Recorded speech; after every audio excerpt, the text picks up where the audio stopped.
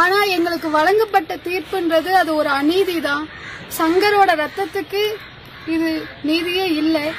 ஏன்னா திருப்பூர்ல நடந்த கோர்ட்ல நடந்த கேஸுக்கும் இப்ப சென்னையில ஹைகோர்ட்ல நடந்த வழக்குக்கும் அதுக்கும் இதுக்குமான எனக்கும் இருந்த தொடர்பு ரொம்ப தூரமா இருந்தது.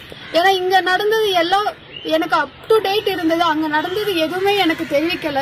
அதே போல டிஎஸ்பியும் மாத்தினாங்க. அங்க அங்க வந்து ஹைகோர்ட்ல வந்து எங்களோட லாயரை வந்து வைக்க முடியல. கவர்மெண்ட் மூலியமா தான் போக முடிஞ்சது.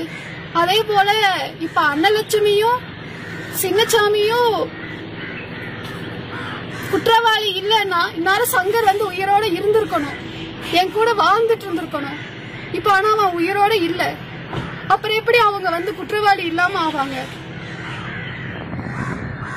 நாங்க ஹைகோர்ட் நாங்க சுப்ரீம் கோர்ட் போவோம்.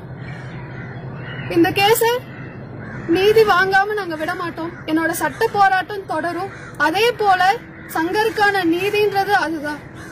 நான் நான் உயிரோட இருக்கிற வரைக்கும் அதே போல நான் வாழ்ந்துட்டு இருக்கிற வரைக்கும் அந்த நீதியை வாங்காம நான் ஓய்ந்து போக மாட்டேன். நன்றி.